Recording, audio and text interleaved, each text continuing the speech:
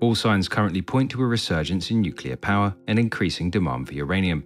Among the most significant are uranium pushing past $92 a pound to a new 16 year high, and the completion of the first new US nuclear project in decades in Georgia, with a second reactor also nearing completion.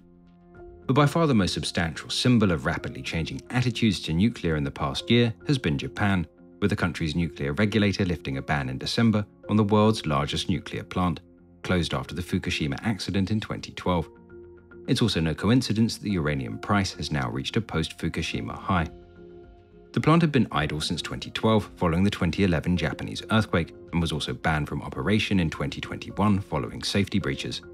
But Tokyo Electric Power's Kashiwazaki Kariwa nuclear plant has now had its operational ban lifted by Japan's nuclear regulator, meaning it can now seek approval to restart after the regulator acknowledged that previous safety issues had been addressed.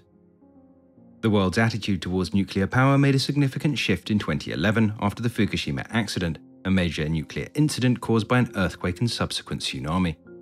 The damage to the electrical grid and backup power to the plant's cooling systems led to overheating and radioactive material being released. Despite no deaths resulting from the accident, concerns about the safety of nuclear power erupted, with Japan ultimately shutting down all but one of its reactors, and other countries like Germany choosing to close all their plants, although Angela Merkel's decision is more plausibly a response to the electoral threat of the anti nuclear Green Party.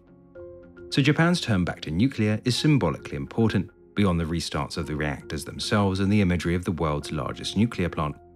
Japan's shift has been dramatic, going from no active reactors in 2012 to 11 reactors having restarted since 2015, and a further 16 in the process of restart approval, according to the World Nuclear Association.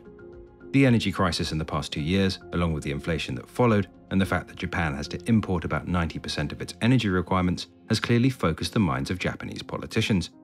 But it's also had an impact on public opinion, with a majority of Japanese citizens in favor of restarting Japan's nuclear reactors in 2023 for the first time since the accident.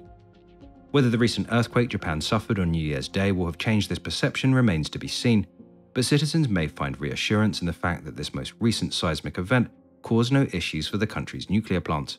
The plant closest to the quake did in fact lose its grid connection, but the new safeguards and backup systems prevented any issues.